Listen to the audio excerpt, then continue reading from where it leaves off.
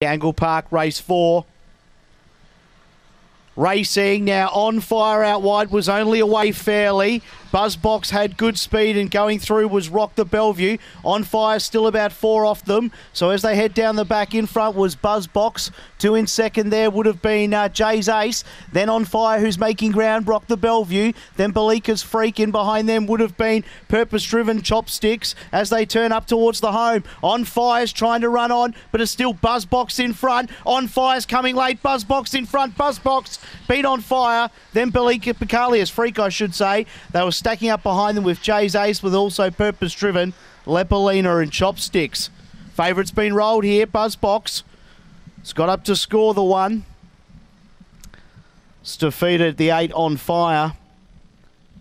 Really lost its chance at the start on fire. It was only away very fairly out wide. It couldn't get across.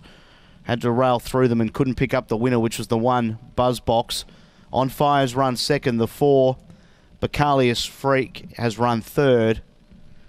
And the two Rock the Bellevue for fourth. So 1842. 1842. Time was pretty slick, 30.06. They were out in 454. Down the back in 16.99 and home in 13.07. One length by a half length was a margin, so one by a half. The winner, Buzzbox, by Beacon Bale out of Alana Blues. Cameron Butcher trained and owned.